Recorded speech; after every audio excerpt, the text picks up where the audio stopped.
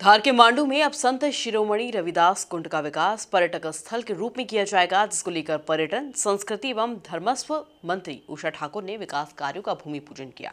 इस अवसर पर आरएसएस के मालवा प्रांत के प्रचारक बलिराम पटेल भी मौजूद थे। इसके साथ ही रविदास समाज के अनेक लोगों ने कार्यक्रम में शिरकत की। देखिए खास रिपोर्ट। दरअसल मांडू में संत शिरोमणि रविदास के चमत्कारों को जनता के बीच पेश करता एक कुंड है जिसका धार्मिक लाभ आम जनता लेती आई है।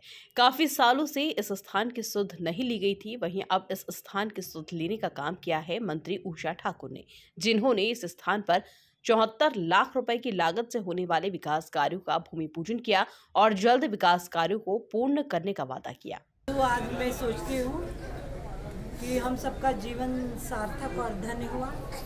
संत शिरोमणि रविदास जी महाराज, आज से लगभग 600 साल पहले।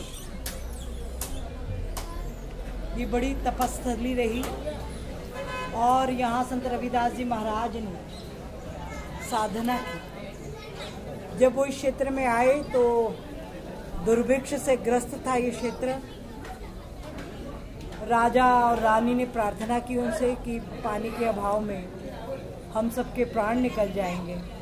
तो संत शिरोमणि रविदास जी ने यहाँ गंगा मैया को अपनी साधना से प्रकट किया था। और ये अद्भुत कुंड और भगवान शिव का जो मंदिर हम यहाँ देख रहे हैं, ये तपस्थली है संत रविदास जी महाराज की। और उनकी उपस्थिति और प्रभु का प्रत्यक्ष आशीर्वाद यहाँ आज भी मौजूद है। आसपास के सब कुएँ बावड़ी सूख जाते हैं। पर इस कुंड कार्यक्रम में विशेष रूप से आरएसएस के मालवा प्रांत के प्रचारक बलीराम पटेल भी मौजूद थे जिन्होंने बताया कि कैसे समाज में ऊंच नीच का भेदभाव पैदा हुआ। जी महाराज के चरणों में सादर प्रणाम। सारे भारत के समाज जीवन में पिछड़े दबे कुचले ऐसे बंधुओं को ऊपर लाने का काम करने वाले ऐसे महान, अभी जैसा बताया कि ज्ञान का भंडार जिनके अंदर था, ऐसे पूज्य बाबा साहब अंबेडकर इनके चरणों में भी सादर प्रणाम। मंच पर उपस्थित संत द्वय, उनको भी सत सत नमन करता हूँ। साथ ही आज के इस कार्यक्रम के मुख्य अतिथि के रूप में हमारे मध्य प्रदेश शासन की मंत्री उषा दीदी, अपने इस कार्यक्रम में आज के स्थानीय समाजजन जो अपने यहाँ के इंदौर के अध्यक्ष हैं, राष्ट्रीय स्तर पर समाज को मार्गदर्शन करने वाले, संगठित करने वाले सूरज जी भाई साहब, अपने स्थानीय भारतीय जनता पार्टी के अध्यक्ष द्वय, और आज के इस अभिनव आयोजन में उपस्थित सुधी, समाजजन एवं मातृशक्ति। संत रविदास जी के बारे में महाराज जी ने काफ़ी कुछ बताया है। लेकिन उनके जीवन की सभी प्रकार की वाणियों को हम जब देखने जाएँगे तो प्रत्येक वाणी में अनेक प्रकार के मार्ग दिखाई देंगे। और हर मार्ग एक समंदर की तरह है। जैसे उन्होंने कहा कि उनकी एक एक वाणी, एक एक वाक्य बहुत बड़े गूढ़ अर्थ लेकर रहे ऐसे ही उनकी व्याख्याएँ भी समुद्र की तरह है। हम जब उनके जीवन को, परिदृश्य को देखेंगे तो जो आज कई प्रकार के भेद खड़े करने का काम समाज में चलाया जाता है, हमको ध्यान में आएगा कि उस पंद्रहवीं शताब्दी में भी कहीं भी ये समग्र हिंदू समाज में इस प्रकार के छोटे बड़े का भेद नहीं था। लेकिन कालांतर में हमारे ऊपर थोपते चले गए और समाज बढ़ता चला गया। संत रविदास जी के जीवन में भी यही सब कुछ हुआ है।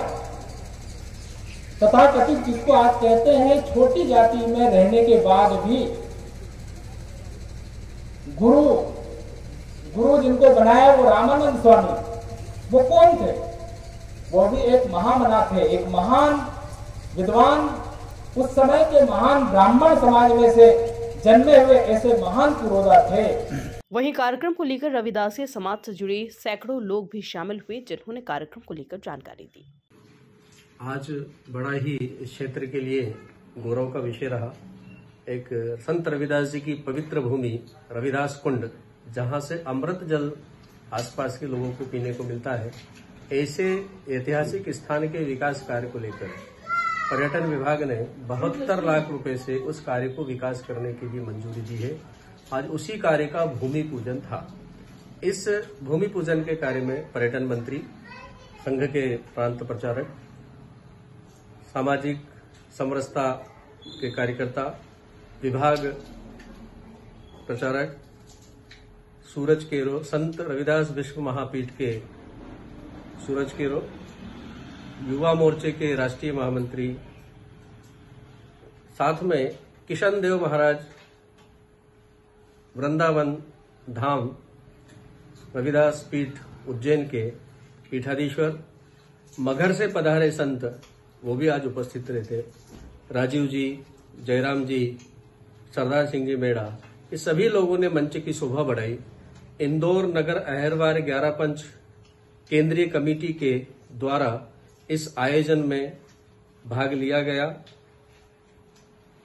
20 स्थानों से यहाँ पर लगभग 500 की संख्या में समाजजन और अन्य समाज के लोग भी इसमें उपस्थित रहे। यहाँ जो स्थान है, बड़ा केंद्रीय है। समरसता के इस कार्यक्रम में बड़ा ही अच्छा सुंदर दृश्य था। पूरे क्षेत्र के सभी प्रकार के समाजजन इस कार्यक्रम में उपस्थित थे। बारह प्रकार के समाजजन विशेष रूप से इसमें उपस्थित थे। समस्त रविदासिया रविदास जी महाराज के अनुयायी उपस्थित थे।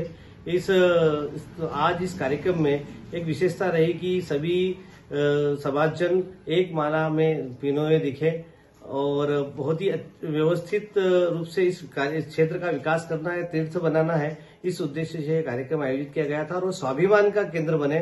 संपूर्ण हिंदू समाज का और संत रविदास किसी एक समाज के न होते हुए संपूर्ण देश के महापुरुष थे संपूर्ण देश के संत शिरोमणि थे उनके बताए हुए मार्गदर्शन पर चलने की आज आवश्यकता है। इसी उद्देश्य के साथ में यह कार्यक्रम आयोजित किया गया था।